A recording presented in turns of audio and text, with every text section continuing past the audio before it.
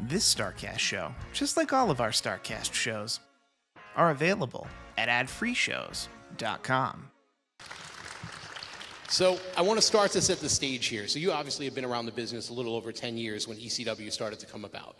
What was your first impressions of ECW? Because at the time, with all the tables and the blood and the groundbreaking, the different sort of athletic style, there were people in the business that were like, "Oh, this is garbage. It's going to ruin the business."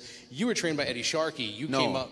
Am I Brad wrong? Rheingans. Bra- Brad Rheingans. I'm sorry. Yes. Well, Brad and Eddie trained others But together. Eddie, when I first started, Eddie gave me a lot of work. I worked for him quite a bit. Okay. So you trained by Brad Rheingans Olympian, great technical wrestler. You obviously your your mindset for wrestling is brought in a, brought up in a certain way. What are your first impressions when you start seeing ECW as as someone in the business but not involved in the company? All right, if you've heard other interviews, you've heard this story. But at the time, the first time I saw it, I was wrestling for WCW and I was living in Atlanta. And we, I found out about it through a buddy. So I, it was on, you know, 2 o'clock in the morning on some obscure channel. We'd sit and watch it together. And I told my buddy after seeing it, I said, that is one company I will never work for. Because these guys are hitting each other in the head with microwave ovens and Super Nintendo, whatever the fans would hand over the rail, they just grab it and crack each other. And uh, I didn't want to get, I mean, you know, even years before that, when uh, Sean, X Pac, when we had our feud up in Minneapolis, I mean, we, we brought it. I mean, we were clocking each other with uh, beer mugs and whatever we get our hands on, you know. But uh, by that time, I was and watching Balls and Sandman trade chair shots. I was like, holy moly, you know. I I, I didn't want any part of that.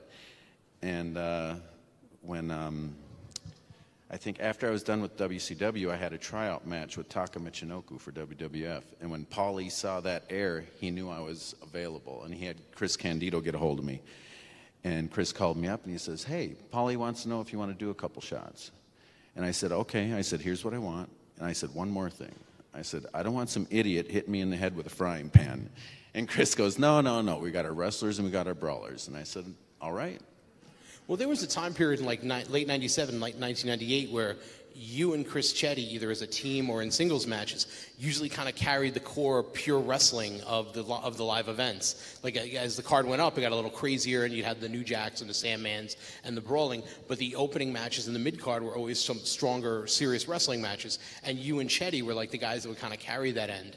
What when you were first brought in, like what what, what sort of expectation did Paul Heyman ex- give you in terms of a push, in terms of positioning in the card, or was it just it just kind of grew week by week? I think it just kind of grew. The, the great thing about ECW is we had a lot of freedom in the ring. So he really didn't tell me, you know, hold me back or tell me to do this or that. I was able to just go out and do what I do.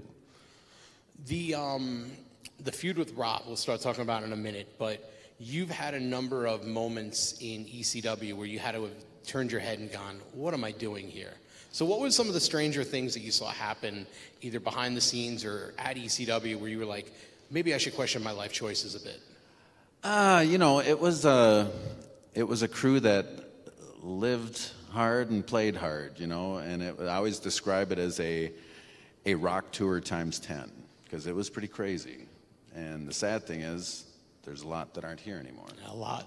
And I don't mean to start bringing this on a down, you know, but, but that's the truth. But it was, uh, at the same time, because of the crew and how crazy it was, every weekend when I'm packing my bags and getting ready to head to the airport, I was excited and looking forward to it because I knew I was going to be thoroughly entertained. And not, not just by the fans, because the fans were just as crazy, but just in the back with the boys.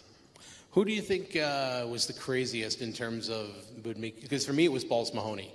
Like Balls, like I once watched Balls Mahoney walk around a locker room wearing nothing but a bathrobe and carrying like a chalice, and I'm like, what is going on? And, like you walk in the building and, and hey, what's going on? And he just wanders right past you. And I'd like, seen him get off a plane right at the airport. We're waiting for him and wearing uh, these bright yellow smiley face boxer shorts.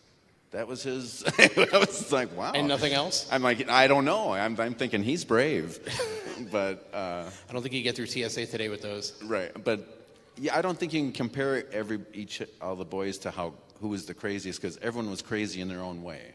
You know. Hey, hey, it's Conrad Thompson. Thanks for checking out the podcast here on YouTube. Be sure to hit the subscribe button and the notifications bell so you get a notice anytime we upload some new content. And go save yourself some money right now. If you're in a 30-year loan or you have credit card debt, it's not a matter of if I can save you money. It's a matter of how much. Find out right now for free at SaveWithConrad.com.